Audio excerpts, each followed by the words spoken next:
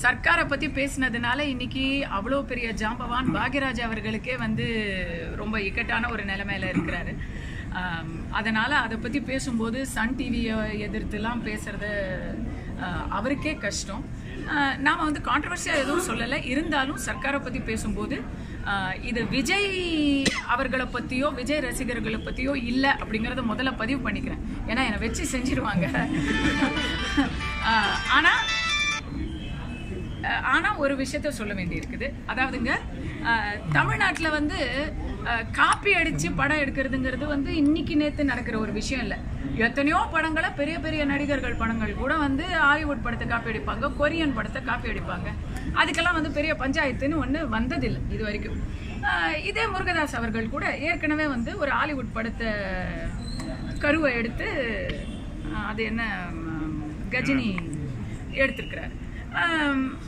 ஆம், தொடர்ச்சியா இப்போ தமிழ்நாட்டில் இப்போ இருக்கக்கூடிய ஜாம்பவான்கள் பெரிய பெரிய இயக்குனர்கள் மேல வராத கதை திருட்டுங்கிற புகார் குறிப்பிட்டு திரு முருகதாஸ் அவர்கள் மேல் தொடர்ச்சியாக மீண்டும் மீண்டும் வருவதற்கு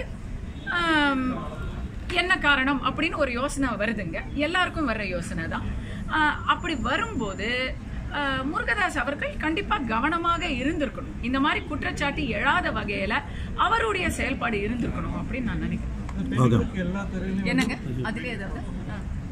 பெண்களுக்கு எல்லா இடத்துலயும் சுதந்திரம் சமத்துவம் ரெண்டுமே இன்னும் முழுமையாக அடையப்படவில்லை. என்னோட சினிமா துறையிலே பாத்தீங்கன்னா இந்த மீட்டு அதெல்லாம் விடுங்க. சாதாரண விஷயம்.